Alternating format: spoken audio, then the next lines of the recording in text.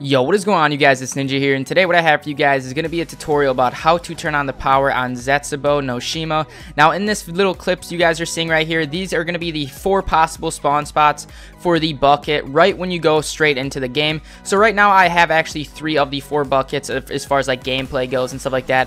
And right here you guys will see me shooting at the ground. That is actually the fourth spot the bucket could be spawning. Next what you guys want to do is open up this door. This will be the first door that you will have to open to get to the power. That is just five 500 points. If you're playing with a couple people and stuff like that, I would honestly just recommend to strategize a little bit and try to get like, try to like alternate with like opening doors with like your buddies and stuff like that, just so you can open up the doors as fast as you possibly can. Then back there, you guys saw that door was $1,000. Once you open this, you want to go way back here to fill up the first bucket to then kind of start turning on the power and stuff like that. And then what you'll need to do is get 1,000 points as you guys see on like on my little points thing right now. I have 1,000 points. Open up that door for 1,000 points and then you guys run run way over here to then kind of put the bucket inside of this other bucket, you could almost say, and then you wait for that to go. And that is one of the two that you uh, have completed. So then once you go down here, you want to come all the way down here, and there will be this next door that is actually cost 12.50. That is actually pretty expensive, and the thing that I can recommend to you guys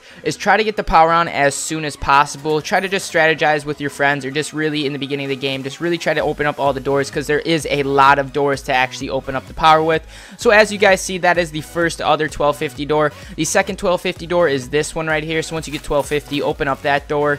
And then you only need two more doors. This one on this left side and then the other one on the right side or up there. So here, there's gameplay right there of opening up that first one. That is 1,000 points also. Now, I'll run all the way down here to fill up your second bucket. Once you're done filling up that second button bucket, run back up, and what you'll have to do is then put that bucket inside of, like, the other bucket, you could technically say.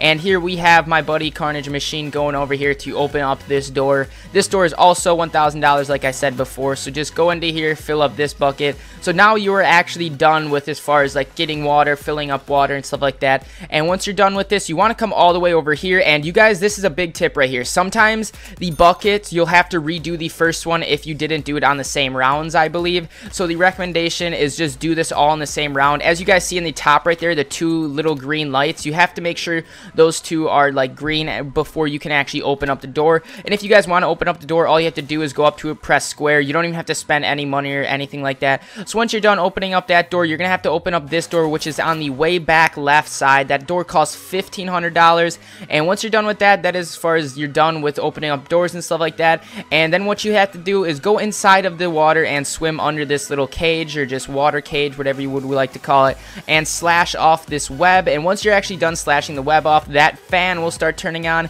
And actually, when this fan turns on, you'll see right here, it actually op or it shuts that door. So then you're actually trapped inside of this room. And as you guys saw, my buddy Carnage Machine, he got trapped outside of the room. So what you have to do here is kill all these zombies before it'll actually let you out. And once you are out, all you have to do, the power will be right in front of you, and then you can turn it on, and that will actually be it. So here you just see me kind of killing all these zombies and stuff like that, tearing and killing with that Dark Matter Vesper right there, and obviously this is pretty simple. If you're with one person or just by yourself, or you're with two people and stuff like that, this is pretty simple, because like they don't honestly get too hectic down here, depending on the round you do this at, obviously like I recommended before in the beginning of the video, I would just recommend to get that done right off the bat, like open up all the doors and just get it done right away. So you guys, then you just run up to the top and you turn on the power, and that is how you turn on the power in the new DLC Zombies map. I hope you guys did all enjoy the today's video, and peace out.